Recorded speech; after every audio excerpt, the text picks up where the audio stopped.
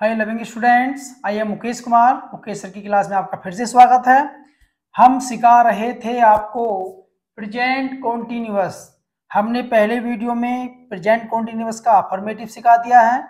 उसके बाद negative sentence अब लेकर आए हैं हम इंटेरोगेटिव सेंटेंस इंटेरोगेटिव सेंटेंस को हिंदी में कहते हैं प्रश्नवाचक वाक्य। है जिनके बाद में क्वेश्चन मार्क आता है, वो इंटेरोगेटिव सेंटेंस होते हैं। हम सेंटेंस इंटरोगेटिव कैसे बनाना है, ये हम आपको बताएँगे आज। तो वीडियो को अंत तक भी देखना है। वीडियो अच्छी लगे तो लाइक सब्सक्राइब और बेल आइकन दबाना है। चलिए स्टार्ट करते हैं वीडियो। जैसे कि वाक्य के शुरू में क्या आने पर, अगर वाक्य के स्टार्टिंग में, यानी कि अब सेंटेंस हम स्टार्ट हो रहा है, अगर सबसे पहले क्या वर्ड आता है तो समझ लो सबसे पहले हम हेल्पिंग और यूज़ करते हैं, ठीक? जैसे कि क्या क्या वाक्य के शुरू में क्या आने पर, सबसे पहले is are am plus subject plus not use करते हैं, प्लस वर्क की फ़र्स्ट फॉर्म में आईएनजी लगाते हैं ऑब्जेक्ट लगाते हैं प्लेस कर, लगाते हैं, ठीक? फिर उसके बाद अगर वाक्य के बीच में क्वेश्चन वर्ड आता है, जैसे क्वेश्चन वर्ड क्यों, कब, कहाँ, कैसे, किसे, किसकी, कितने, कितनी, ये वाले अगर वर्ड आते हैं तो अगर वो कहाँ आते हैं, वाक्य के बीच में, या अगर वाक्य के स्टार्टिंग में भी आते हैं तो भी हम क्वेश्चन वर्ड यूज़ करते हैं, यानी कि जो उस वर्ड की मीनिंग लिखेंगे जैसे कि अगर क्या वर्ड है, जैसे अगर क्या वर्ड अगर वाक्य के शुरू में आ गया तो हम क्या की अंग्रेज़ी नहीं लिखते। लेकिन अगर क्या वाक्य के बीच में आता है, तब हम क्या की मीनिंग लिखेंगे। ठीक?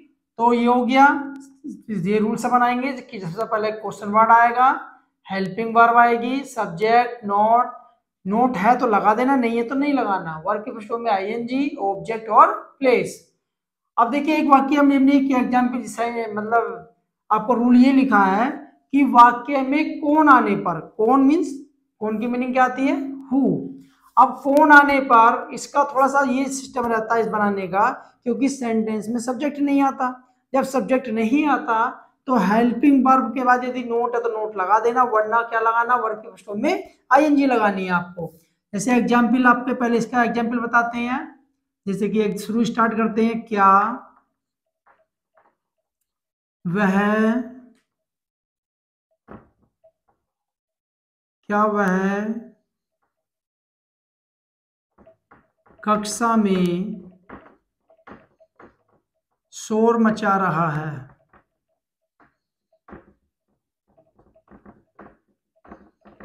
ठीक, अब सेंटेंस के अंत में जब लास्ट में आप क्वेश्चन वर्ड क्वेश्चन मार्क दिखाई दे तो समझ सेंटेंस हमारा इंटेरोगेटिव है। लेकिन इंटेरोगेटिव है इंटेरोगेटिव कौन सा है? जिसके वाक्य के शुरू में क्या वर्ड आता है? तो उस रूल से बनाएँगे। सबसे पहले is are am S use करेंगे। लेकिन सबसे पहले हम इज़ लिखना है आर लिखना है एम लिखना है, किसके अकॉर्डिंग सब्जेक्ट के अकॉर्डिंग सब्जेक्ट क्या है इसमें? वह है। तो वह सिमिलर है। तो किसका यूज़ करेंगे? इज़ वह की मीनिंग क्या आएगी? ही सब्जेक्ट हो गया।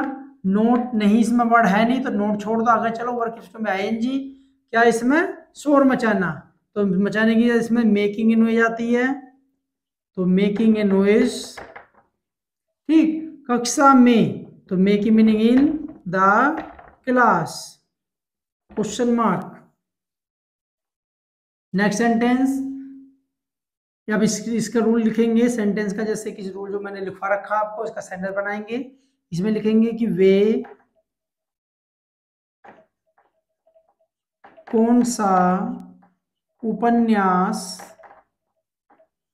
वे कौन सा उपन्यास पढ़ रहे हैं?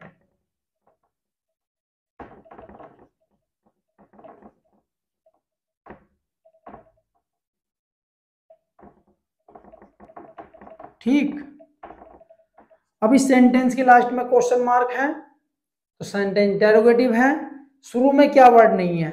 जब शुरू में क्या वर्ड ना हो लास्ट में क्वेश्चन मार्क हो तो सेंटेंस के बीच में आपको क्वेश्चन वर्ड ढूंढना है। तो क्वेश्चन वर्ड क्या है इसमें? कौन सा? तो कौन से की मीनिंग क्या आती है? विच विच चार डब्ल्यू एच फैमिली के साथ में नाउन यूज़ करते हैं। जैसे कि विच विच के साथ हुज के साथ करते हैं हाउ मैनी के साथ करते हैं और हाउ मच के साथ करते हैं। तो इसलिए इसी प्रकार हमने विच के साथ भी जो नाउन लिखा हुआ है, इसमें उपन्यास तो इसकी मीनिंग भी यहाँ पर ही लिखेंगे। ठीक? विच नोबिल उसके बाद में ये हमारी पूरी डबल एच फैमिली में कहलाएगी नोबेल भी हमारा इसमें सबमिट हो गया डबल एच फैमिली में, यानी कि क्वेश्चन वर्ड में। तो क्वेश्चन वर्ड लिख दिया, उसके बाद में हेल्पिंग वर्ड यूज़ करेंगे है सब्जेक्ट क्या है इसमें? वे तो वे हमारा प्लोरल है तो किसके यूज़ करेंगे? आर सब्जेक्ट क्या है इसमें? वे वे की मीनिंग क्या जाएगी इसमें? दे नोट इसमें है नहीं वर्क में एन लगाना तो वर्क क्या है इसमें? रीड और रीड में क्या लगा देंगे? आई एन जी तो ये हो गया हमारा रीडिंग तो which novel are they reading वे कौन सा उपन्यास पढ़ रहे हैं? अब देखिए थर्ड से एग्ज़ाम्पल आपको लेके चलते हैं। थर्ड एग्ज़ाम्पल में जैसे आप बताते हैं, हम थर्ड एग्ज़ाम्पल में इसमें कौन वर्ड आएगा? जैसे कि उसे कौन बुला रहा है?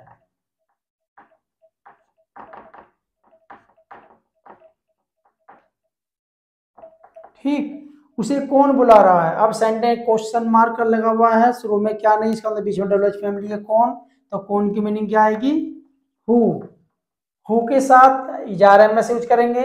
अब एक बात और ध्यान रखना, मैंने वैसे वैसे इजारे में लिखवा दिए हैं, लेकिन आप याद आपको याद रखना है कि इसमें आर नहीं आता और एम नहीं आता। किसका यूज़ करेंगे? इज़ का यूज़ करेंगे। इस बात का ध्यान रखना है क्यों?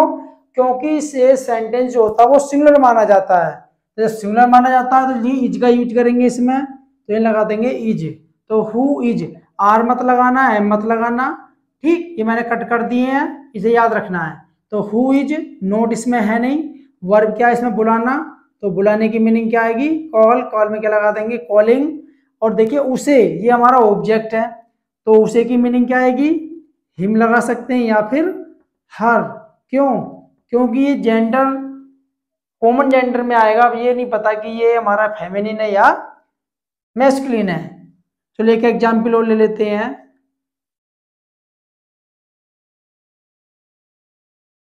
वह लड़का यहाँ क्या कर रहा है? ठीक। अब इस सेंड में देखो, वह लड़का यहाँ क्या कर रहा है? रहा है, पहले सेंड को पहचाने करो आप। रहा है present continuous question mark interrogative sentence शुरू में तो क्या वर्ड नहीं है, इसका मतलब बीच में क्या वर्ड आ गया। जब शुरू बीच में क्वेश्चन वर्ड आता है तो समझ लो उसकी मीनिंग सबसे पहले लिखी जाती है। तो सबसे पहले मीनिंग क्या की मीनिंग आएगी? वर्ड तो ये क्वेश्चन वर्ड हो गया।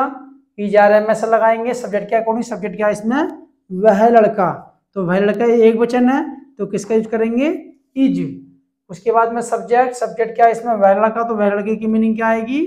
दैट बॉय उसके बाद नोट इसमें है नहीं वर्क में आएगी, लगाना है।